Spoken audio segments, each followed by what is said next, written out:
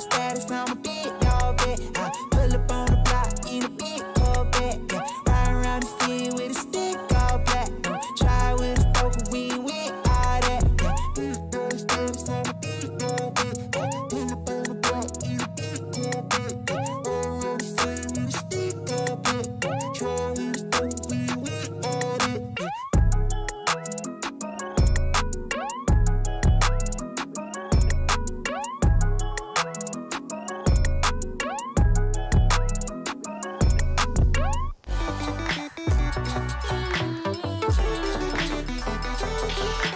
Salut tout le monde, bienvenue dans le Talk RSCL, l'émission pour et avec les supporters euh, du Standard. Je suis ravi de vous retrouver pour ce clap euh, 2 en direct sur Facebook et sur euh, YouTube. Je peux déjà dire bonjour à Momo, à Remix, vous êtes les deux premiers, c'est magnifique.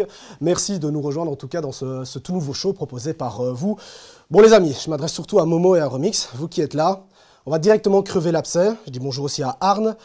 Ok, j'ai vu vos commentaires euh, durant euh, la semaine, j'ai vu certains commentaires aussi aujourd'hui. Bon, c'est clair, c'est pas une super bonne période euh, pour l'équipe du Standard. Effectivement, les résultats suivent pas. On vous comprend, on comprend votre euh, colère, mais bon, j'ai envie de dire c'est dans ces moments-là, ces moments un peu difficiles où on doit simplement rester soudé, encourager l'équipe euh, pour atteindre tout simplement euh, ces objectifs qui sont justement les playoffs 1. Donc du coup, on n'est pas là pour, pour s'énerver, on est là pour se détendre. Néanmoins, je vous propose quand même de poser vos questions, de commenter, de laisser justement vos commentaires sur le chat. Bonjour Olivier d'ailleurs, bonjour Thierry, bonjour Aurel, bonjour Fredo. Donc les amis, il y a le chat pour laisser vos commentaires, mais aussi l'adresse mail letalk.rsl.gmail.com où vous pouvez laisser euh, vos commentaires en vidéo. Donc c'est très simple. Un iPhone, un smartphone, un iPad, un Mac, bref, webcam, vous faites tout ce que vous voulez pour vous filmer, vous nous envoyez aux vidéos et pour peut-être qu'on dans les prochaines émissions, on pourra euh, euh, envoyer justement, montrer dans le- l'émission vos vidéos et commenter peut-être vos différentes réactions. Bon du coup, ce soir, j'ai envie de dire, comme le disait mon père, on avance, face à un problème, on va vers l'avant. D'ailleurs, papa, je t'embrasse si tu me regardes. Et justement, l'avant, c'est le thème euh, d'aujourd'hui, l'avenir. Quand on parle d'avenir, on parle de la jeunesse, la jeunesse du standard. On va en discuter ce soir avec euh, l'invité euh, du soir, justement, le rouge du soir. Je pense que vous avez l'apprécié. Merci de regarder le talk Clap 2 avec la première séquence, le rouge du soir. C'est parti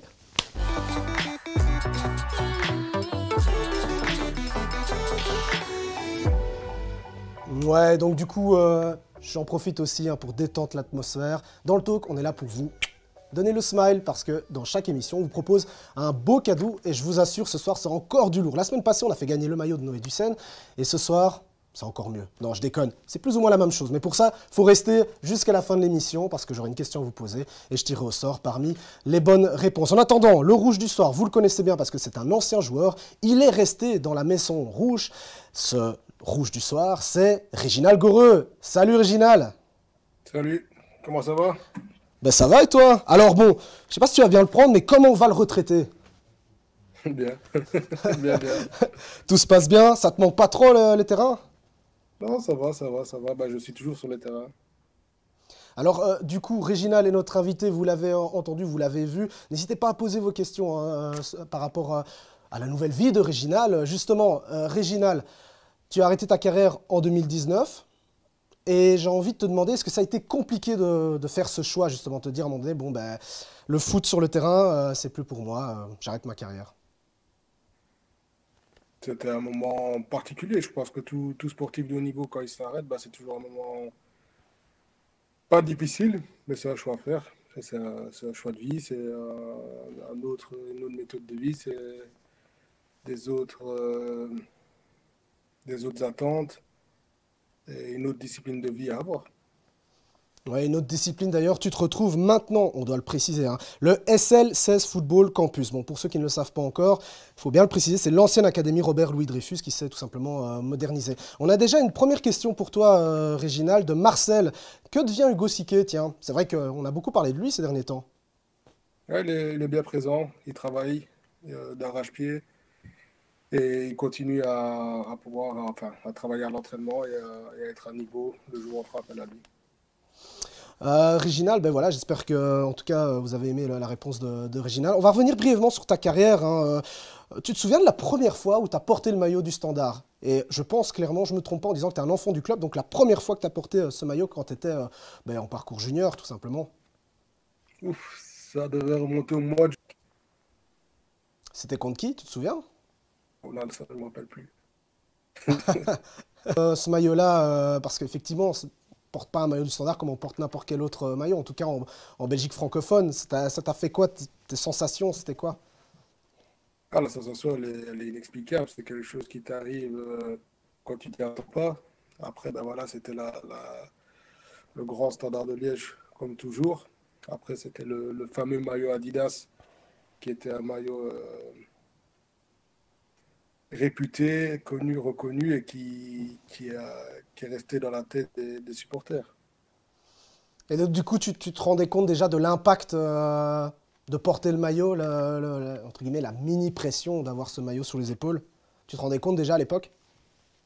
Bah, Tu avais, avais, la fierté surtout. Je pense qu'aussi petit, tu n'as pas vraiment ce, ce, cette pression qui est faite comme quand tu montes dans les âges. Et si petit, bah, tu as vraiment la, la fierté, l'envie de, de tout montrer. C'est à quel moment que tu as eu le déclic, euh, justement, original, de te dire, bah, tiens, ok, je fais du foot par passion, et là maintenant je veux devenir pro C'est à quel moment que tu as eu ce déclic-là ce déclic Tu t'en souviens? Ah, il, y a eu, il y a eu pas mal de déclics et pas mal de situations qui ont montré que c'était possible d'y arriver. Et moi, particulièrement, j'ai eu ce déclic à partir de la, de la finalisation de la construction de l'académie qui s'est faite en, en 2007. Et auparavant, ben, j'avais été blessé.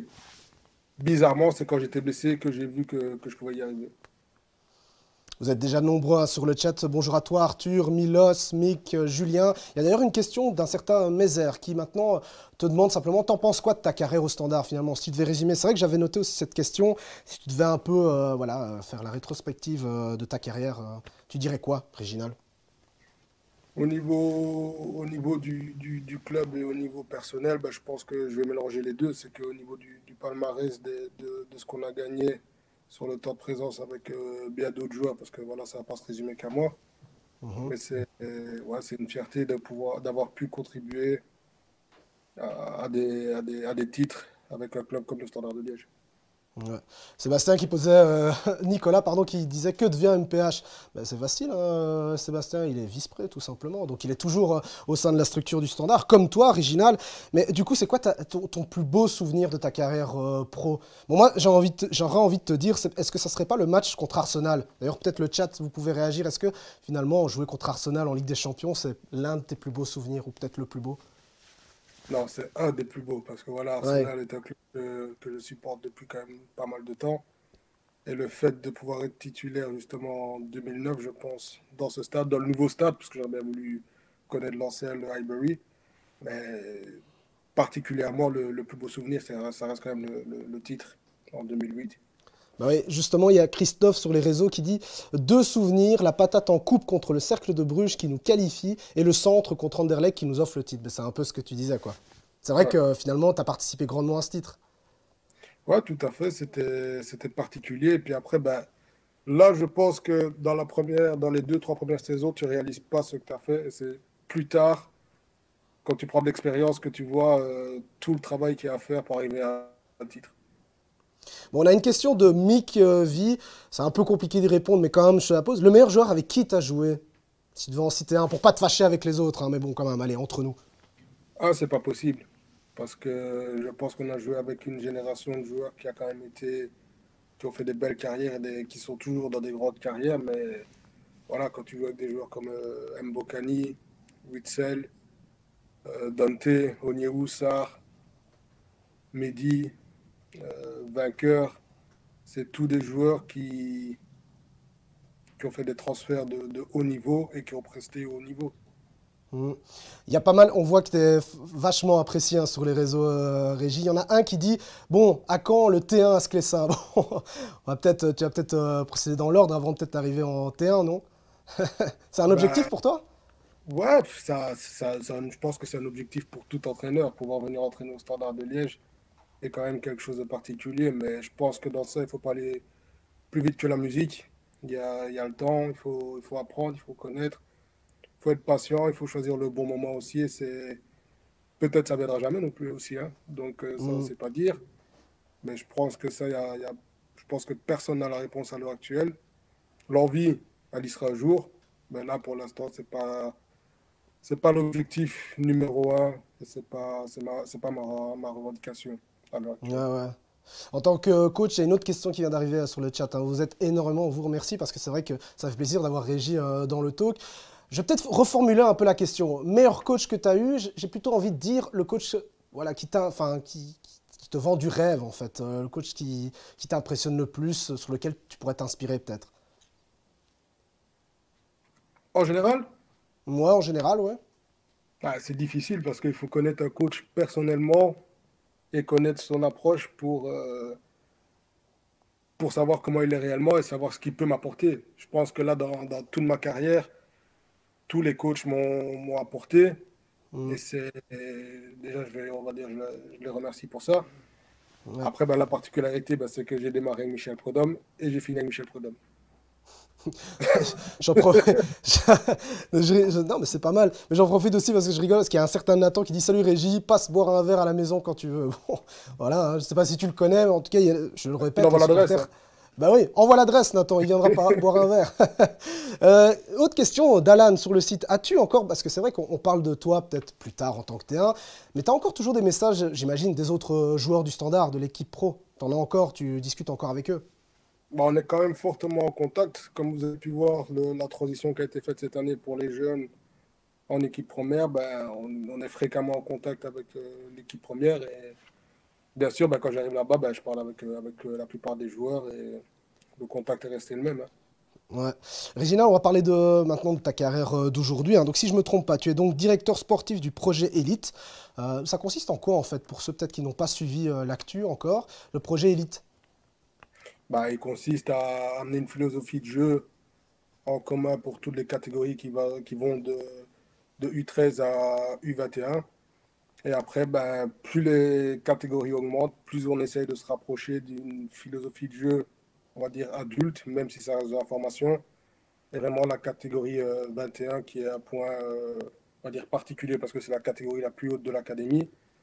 Mais voilà, c'est de faire le suivi, de, de- d'être en, en contact journalier avec Mm. les coordinateurs, les entraîneurs et pouvoir travailler euh, tous dans la même direction. En fait, tu me dis si je me trompe, mais j'ai l'impression que finalement tu continues ce que tu, euh, ce que tu faisais déjà en tant que joueur, c'est-à-dire te rapprocher des jeunes, les conseiller au final. Tu continues un peu cette voie-là, c'est vrai. Bah, on va dire c'est la, la- la facilité que j'ai de, de pouvoir parler le, le même langage que les joueurs à l'heure actuelle. Et après, bah, c'est pouvoir faire cette transition de jeu entre, euh, entre l'équipe première, euh, pouvoir euh, partager avec les coordinateurs qui, eux, m'apprennent aussi beaucoup. Donc, c'est l'objectif de... C'est mon rôle et c'est mon objectif de pouvoir apporter le plus possible, comme eux m'apportent beaucoup aussi. Ouais, ouais.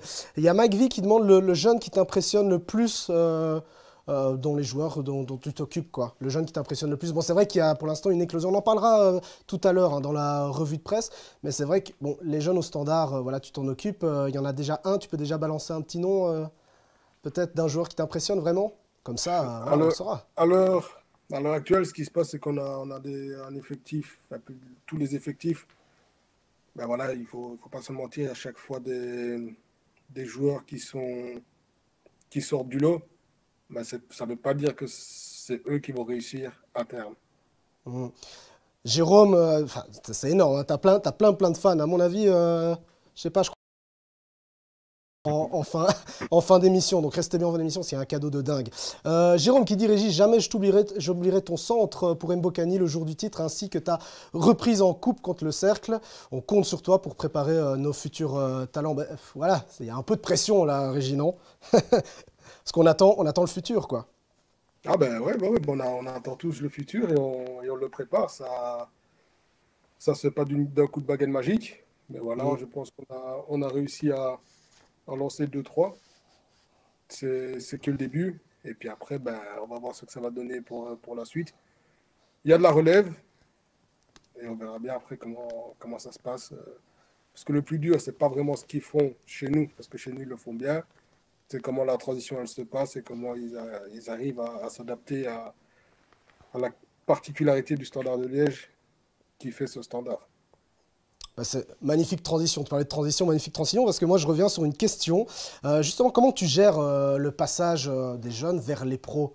Il y a tout un mécanisme, j'imagine. D'ailleurs, ça a été posé aussi sur le, le chat. Bah, c'est tout un mécanisme, oui et non. Après, on prend un joueur comme, on va dire, que tout le monde connaît à l'heure actuelle, Michel-Ange. Mhm. C'est un joueur qui a eu le déclic sur sa transition, vraiment pendant la préparation physique, la préparation de pré-saison avec l'équipe première. C'est un joueur voilà, qui, au niveau des, qualités footballistiques, était un bon joueur, c'est sûr et certain. Après, c'est de voir aussi comment ils arrivent à digérer ce passage qui est si difficile euh, avec, euh, avec l'équipe première. Après, ben, on met tout en place, que ce soit les, matchs amicaux, les matchs en interne, les- les entraînements spécifiques, le travail qui est fait au quotidien. Et il faut chaque fois euh, un certain laps de temps, il faut jamais relâcher, il faut toujours être derrière eux parce qu'au final, ça reste quand même des, on va pas dire des enfants, mais des adolescents très jeunes parce qu'ils sont appelés à être prêts entre euh, 17, 18, 19, 20 ans. J'ai encore euh, deux, deux petites questions avant de passer à la nouvelle séquence de la, revue de presse. Une question de Bernard. La mentalité, on parle justement donc euh, de mentalité standard. Est-ce qu'elle est présente parmi les jeunes que tu euh, côtoies aujourd'hui? Est-ce que tu as ressenti déjà une vraie mentalité?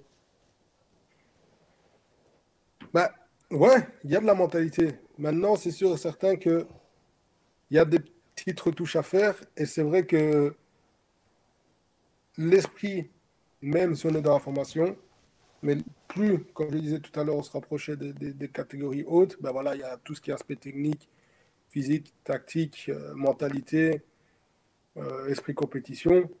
Et après, il y a ce petit détail qui fait, qui fait aussi la, la différence et qui est un apport vraiment du, du jeu professionnel. Et pour parler un peu plus vul- vulgairement, ben, il faut, faut des salopards aussi sur le terrain par moment. Et c'est ça qui, qui, qui, qui La fait hargne. la différence quand tu arrives à, à rajouter ça en plus. Ouais. Bah, Steven Bonnen, hein, je viens de voir, tu as une très très bonne question, mais garde-la bien, on va la poser après parce qu'on va passer à la séquence, la revue de presse, donc reste bien là, Régie, parce que ça a un lien avec ta, ta question. Donc c'est parti pour la revue de presse.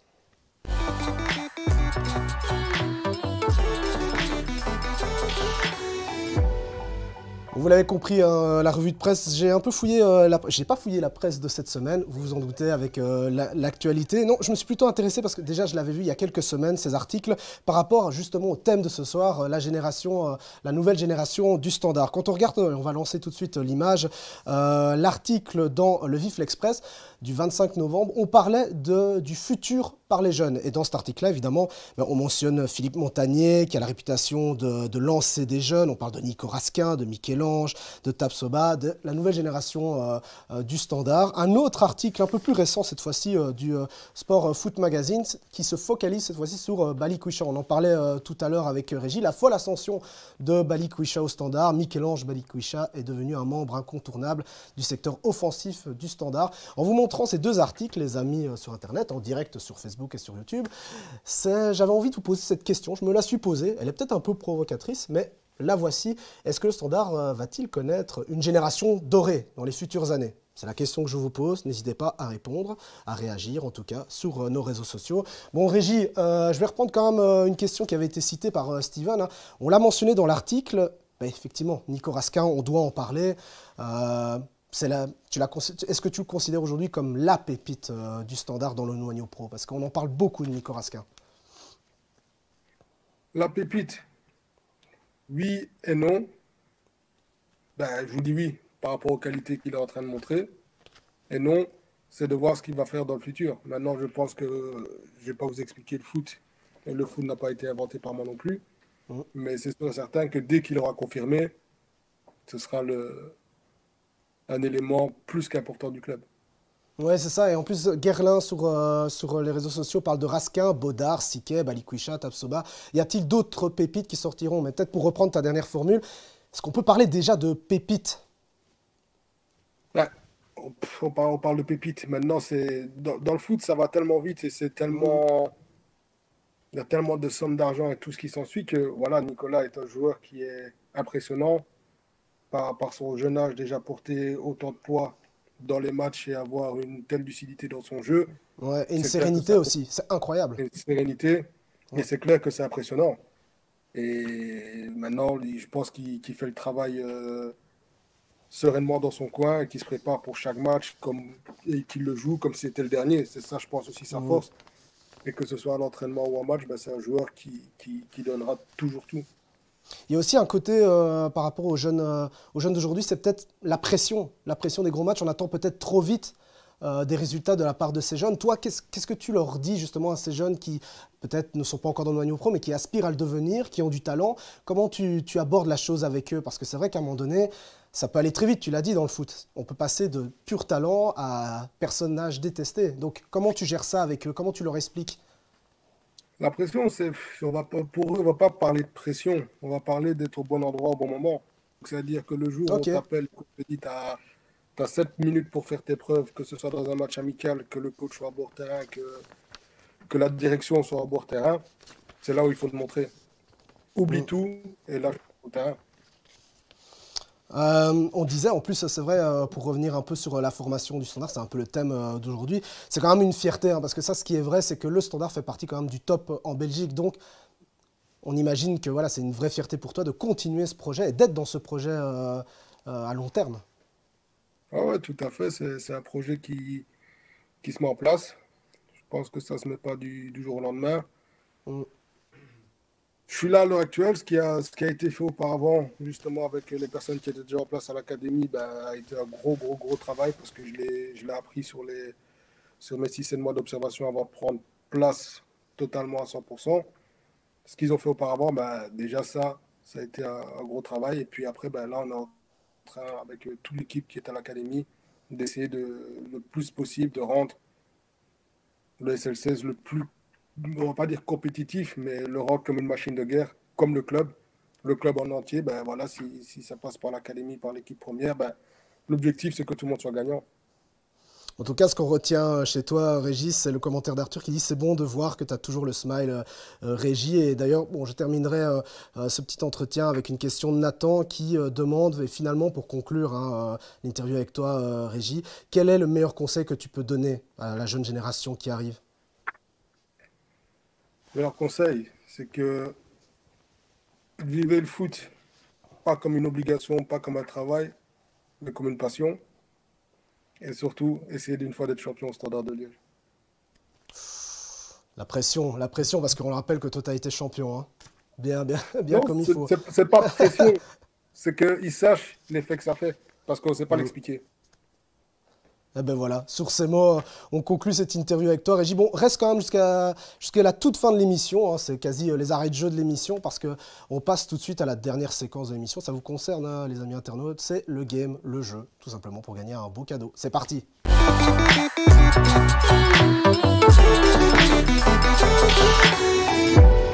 Bon ouais, je vous le disais hein, dans le talk, euh, on offre de super beaux cadeaux. Et, ce soir, d'ailleurs, c'est Régis qui va, qui va l'annoncer. Bon, qu'est-ce qu'on fait gagner aujourd'hui, Régis? Mmh, une photo Une photo, ouais. Bien, bien. Il y a la photo, photo où tu es champion de la Coupe.